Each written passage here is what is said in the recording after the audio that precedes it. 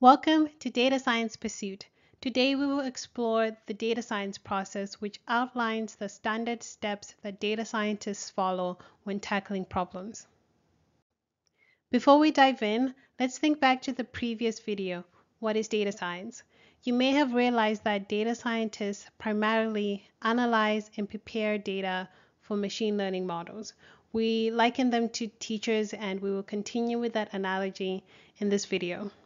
Teachers understand the subject that they're teaching, prepare instructional material, teach students, and also test the students.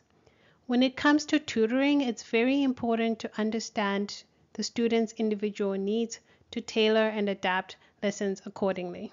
If all test results are poor, then the teacher may need to revisit their teaching methods or material.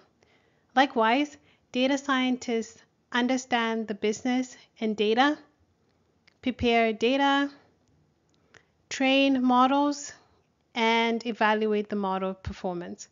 It is also important for data scientists to understand the machine learning models so they can prepare the data appropriately.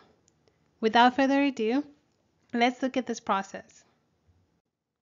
The first step is problem definition. This is the planning stage of the process where we understand the business problem. Next is data acquisition, where we get the data needed to solve the problem. After this, we move on to exploratory data analysis and data cleaning. This is to understand the data and prepare it for the next step, which is modeling. During modeling, we train machine learning models and evaluate their performance. Once the model is ready, we present findings to the customer to gain acceptance, and then lastly, deployment, where we implement the model in the real world.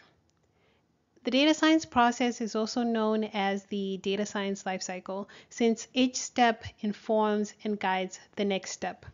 The data science process is typically iterative, meaning that data scientists may go back and forth between some steps is needed. And you can tell with uh, the double arrows there in our little diagram. And we'll add a few more just to illustrate that you could go back and forth between other steps. This video will summarize these steps. So let's explore each step in a little more detail. For full details, look out for future videos. All right, let's start from the beginning. Problem definition. During problem definition, data scientists work with customers to understand the business problem, identify relevant data sources, and outline project goals. Customers have different perspectives, challenges, and different ways of communicating. Some are not sure what they want or what data scientists can do. Misunderstandings can easily happen. So domain knowledge is very valuable here. But if data scientists are new to this business, then good communication and curiosity will also be very helpful. Data scientists need to ask the right questions to understand their customers' needs. Without clarity, data scientists risk answering the wrong question. And then next, data acquisition. Depending on the data sources, data extraction can be simple or complex. If data is from multiple different sources, it may need to be aggregated or joined together. Data source examples are Microsoft Excel, text documents, databases, websites, or even images. To keep things simple, our data science fundamental learning paths will cover data extraction from a CSV, which is a table-like format with rows and columns. Let's look at an example right here. So in data science, a row excluding the table he headers is referred to as an observation or record, and a column is referred to as a variable or a feature. The next step is EDA and data cleaning. Well, technically these are two steps, but we combine them because data scientists may go back and forth between EDA and data cleaning as each step influences the other.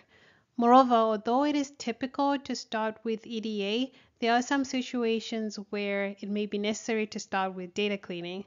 Some data scientists may even prefer it that way, but we will start with EDA. During EDA, data scientists understand the data.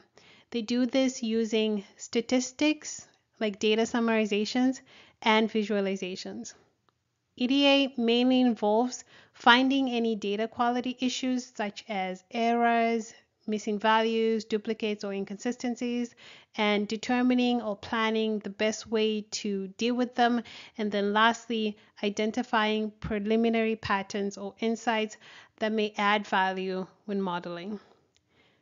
It is important to be curious and ask the right questions to sufficiently examine the data. If anything seems interesting or concerning, it is crucial to ask why or how it could have happened and determine ways to conduct further investigation. So during EDA, we uncover data quality issues and make a plan to resolve them. During data cleaning step, we implement a, the plan to improve data quality.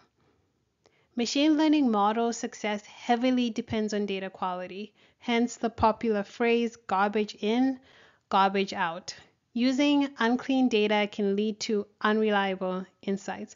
Since most real world data is unclean, data cleaning is crucial to obtain the best results. If anyone is interested, I generally explore the data to find data quality issues first, clean the data, and then explore it again to find patterns. Now, this is the fun part modeling. Modeling involves a couple of steps. The first one is feature engineering to create new variables from existing ones that could enhance the model. The next, data partitioning to split the data into training and testing data. And then model training, where we apply appropriate machine learning models to the training data and then tune the models to get the best results. And then lastly, model evaluation, where we assess model performance on the testing set and interpret the model results. After we have our model, we move on to presentation. To gain acceptance, data scientists need to communicate results in a way that customers can understand. They must be able to show the value of their analysis, and the best way to do this is to tell an engaging story with data by using visualizations. And the final step is deployment where we implement the model in the real world, where it can be used to make decisions or predictions or whatever other good stuff that we can do. Deployment may also involve monitoring the model performance over time and determining if it needs to be retrained. So the data science process doesn't always look the same. It can be flexible depending on things like organizational structure or type of analytics. For example, in smaller teams or organizations, data scientists likely perform all the steps in the data science process. They may even perform tasks beyond the data science process. However, in larger teams or organizations with more specialized roles, data scientists may only perform certain steps in the data science process. For example, data engineers can handle the data extraction and data cleaning, while data scientists focus on analysis and modeling. Similarly, business analysts bring their domain knowledge to help define the problem and interpret the results. Effective collaboration among data teams ensures that the data science lifecycle is properly followed. Now, when it comes to analytics, there are four main types of analytics that data scientists do. The first one is descriptive analytics, which involves finding patterns in data to report what happened in the past. This analytics excludes modeling. The next one is diagnostics diagnostic analytics, which goes a step further to understand and explain why something happened. And then predictive analytics, which goes a step further from diagnostic analytics to predict the future. And then prescriptive analytics, which also goes a step further to recommend the best course of action for the predicted outcomes. The last three analytics include all the steps in the data science process. Okay, so we've come to the end of the videos. Let's look at some key takeaways. The data science process outlines several steps that help data scientists extract insights from large, complex datasets.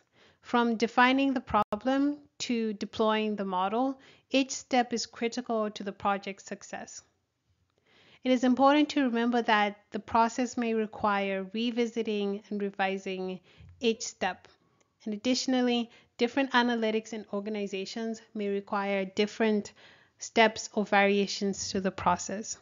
Most of the steps in the data science process are done using programming. So in the next video, we will explore what programming is.